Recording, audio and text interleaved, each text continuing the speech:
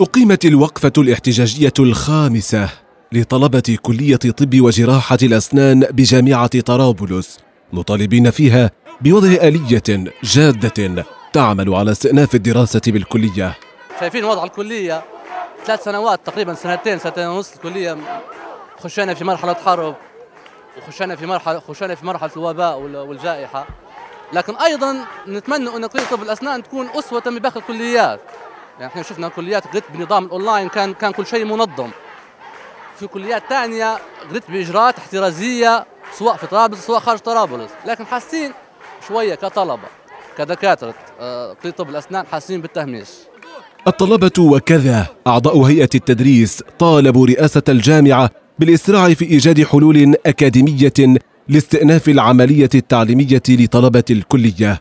وهذا ممكن يعني خامس وسادس اعتصام ونفس الشيء. ونركبوا لعميد رئيس الجامعة. ونركبوا للعميد نفس الشيء. يعني عبارة كلها عليه وعود وهمية. يقولون لنا مثلا الأسبوع الجاي الأسبوع اللي بعده الأسبوع اللي بعده وما يصير شيء.